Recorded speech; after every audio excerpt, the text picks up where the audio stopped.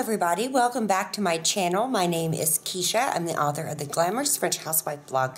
You can find that link below. It's usually up top too. So today I am back with our weekly food haul. It's rather large. We needed quite a bit of stuff. So I know you usually don't see me in the beginning of these videos, but I thought I'd switch it up today. Say happy Sunday and um, tell you I hope you had a great weekend.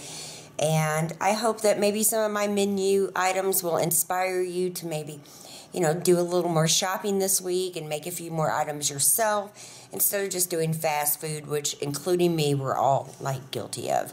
So I'm going to take you through everything that I got today. I'm going to break it up. I'm going to do cold stuff in the beginning, and then towards the end, we'll do the stuff that's just the shelf stuff, just because I got so much that I need to put away.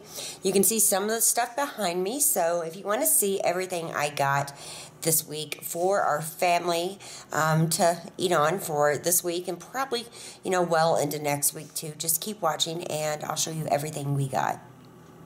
So before I start going through everything, I'm going to tell you some of the meals that I have planned. These are not in any order just because things change. We eat out sometimes um, unexpectedly and sometimes I don't want to cook.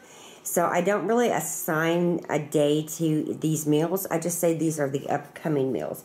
So barbecue pork with baked potatoes, like pork sandwiches, pulled pork sandwiches husband approved steak sandwiches and fries. I have that already on my channel. You can check that out.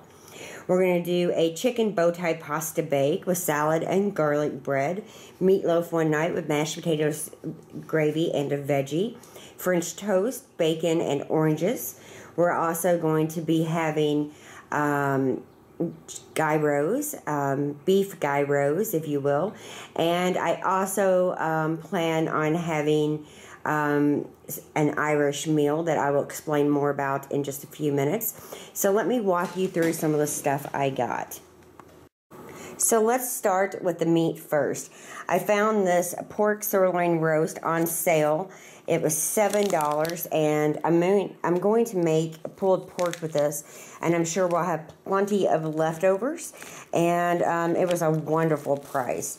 I know Jackson's been wanting a cheeseburger. I really, you know, don't like making cheeseburgers a whole lot. But I got two of them. I figured I could make them for him any night we eat something that he doesn't necessarily like. So I got two of these gourmet bacon flavored cheddar burgers. So hopefully he likes those. For that chicken um, bow tie bake, I just got some of the boneless, skinless chicken breast. Again, these were on sale. Um, the split breasts were not on sale, which, you know, are usually cheaper with more meat.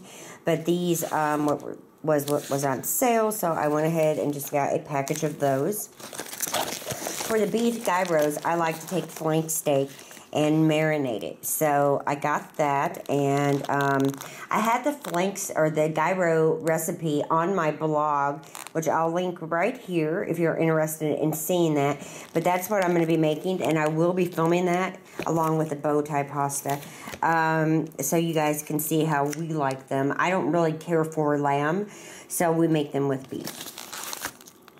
We got the corned beef brisket for St. Patrick's Day. So, this was a little more expensive, but I went ahead and got it. Um, I'm going to put it in the crock pot, show you guys in a different video a wonderful Irish dinner, and I got the corned beef brisket for that. For the husband approved steak sandwiches, I just got some of this beef cube steak. We really love those sandwiches, so I got two so I can make a nice big batch. Um, for the night, we have French toast. I got some of this apple um, wood bacon that we get all the time. We love bacon in this family. Um, and then back this way, lunch meat. I just got a package of bologna. I know it's not the healthiest, it's the thick cut, but we like it, and I like bologna. I just do. So I got a package of it. And then these are one of my favorite little treats. These are prosciuttos, and they're a little piece of mozzarella wrapped with prosciutto, and it's just divine, so I got those. From the produce, I got some of these lovely tomatoes. These look like the nicest tomatoes that they had. I got them for um, salads, gyros, and um, husband-approved steak sandwiches. So I got three of those. Um, I also got some of these um, organic, real sweet cherry tomatoes because they will go into um, the bow tie pasta. On the gyros and in our salads, we like cucumbers, so I just got one of these English cucumbers. I went ahead and got a larger one because I'm going to be using it in a couple different recipes. Um, I got some baby cut carrots to go with that beef brisket um, in the crock pot. Um, also in the chicken bow tie um, bake, there is broccoli. So I got um, this package of broccoli. It's just little broccoli florets that um, have already been cut. I just took some convenience. Um, I'm also going to be making some apple chips. So I went ahead and got three Granny Smith, but I needed one for my green smoothie that is going to be coming up. And then I got a couple Honey Crisp and a couple Red Delicious. And I'm going to use those on my mandolin, and we will um, bake those in the oven and make some delicious apple chips. Um, I got this bag of oranges just because they look good, sounded good, and I love fresh oranges. So I got some of those. I decided I'd serve some, you know, just some orange slices up with our French toast that night. I also got four of these organic grapefruits. Um, and I'm going to show you my everyday breakfast, which generally includes grapefruit. And I got some more organic bananas um, because we're going to be making my my grandmother's actually oatmeal banana chocolate chip breakfast cookie. And I needed more bananas for that, so I got some of those. I got some baby spinach for a couple different recipes. I like to put this in my green smoothie, and I'm also going to be putting some in the um, chicken bake, the bow tie chicken bake. Um, because we're going to have salad one night, I went ahead and got one of these Harvest Farms organic spring mixes. And um, ice cream. I know that's kind of a leap to go, but ice cream. I got the Edy's slow churned fudge tracks for my husband. He loves it. My grocery store doesn't always have organic milk. They run out quite often, but they had it today, so I got one of those. These last longer. The shelf life on organic milk is much longer than just regular milk, so keep that in mind if you go through, um, you know, if you find yourself throwing away a lot of milk that you haven't drank. I got one of these Litehouse Yogurt Ranch dressings. Um, if you look at that recipe for the gyros, this is the kind of um, sauce I like to use. I add a little bit of dill to it. Will you get down? So I got that for that meal. I also got a heavy whipping cream. This is the Horizon Organic, and that is also for the chicken bake, the chicken bow tie. I saw these eggs for the first time in my grocery store. These are the Land Lakes All Natural Grade A Brown Farm Fresh Eggs um, no antibiotics, hormones, animal fat, or animal byproducts. I just thought they looked nice. I haven't tried this brand yet, so I went ahead and got it just, you know, to see if I like these eggs as much as I like the Eggland's. Eggland's best, that is. And then frozen food wise, I got um, a large package of tater tots because we go through them so often, so much. So this is definitely three or four meals worth. I also got some frozen garlic bread just for convenience. Um, and then I got me two of the Stouffer's meals for a quick lunch one day or maybe even a quick dinner if, you know, I decide I'm not cooking and I need to find something fast. And then over here, I have got some more butter. This is the Horizon Organic Salted Butter. I'm not worried too much about unsalted. We don't really watch our sodium here very much. And then I got two bags of these um, organic blueberries and raspberries. I got those for my smoothie.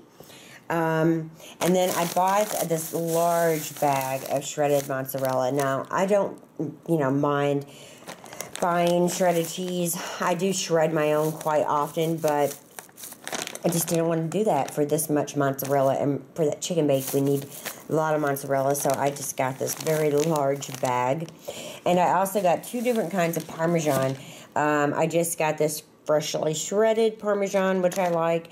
And then I needed some of the shaved Parmesan, so I got that too. So that's for a recipe.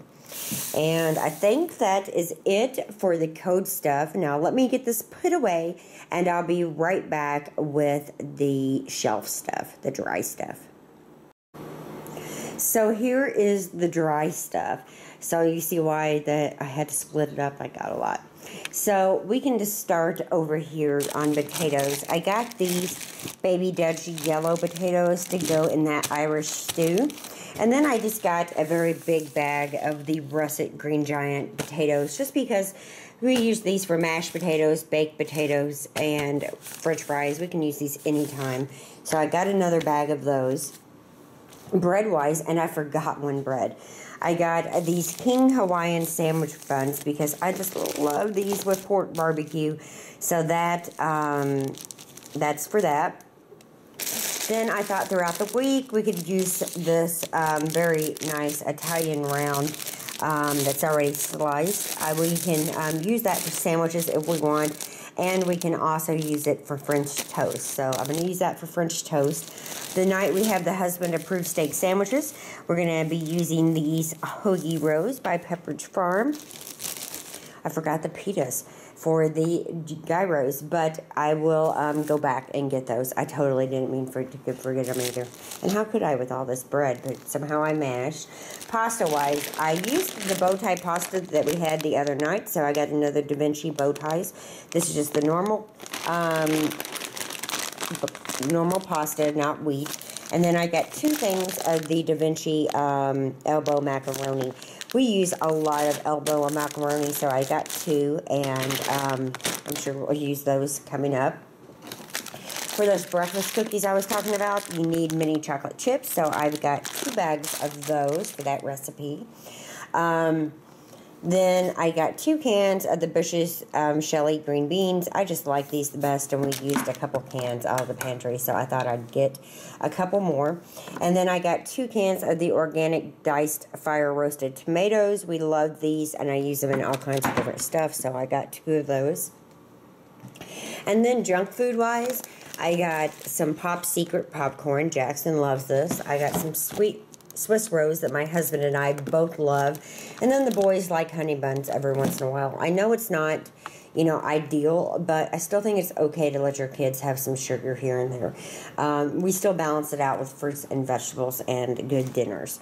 I also got some of this McCormick's brown gravy. I use this out of convenience for my meatloaf. Super simple and it's just you know, convenient. And then I got one case of Mountain Dew for Scott and I, and one case of Coke for Scott and I, or 12 pack. Um, but we also love the Welch's 100% white grape juice, and I got two of those because Jackson can drink this stuff like water.